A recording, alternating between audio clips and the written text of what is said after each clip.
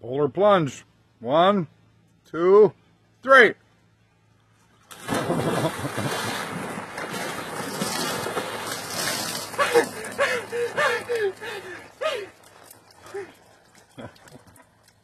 What's wrong?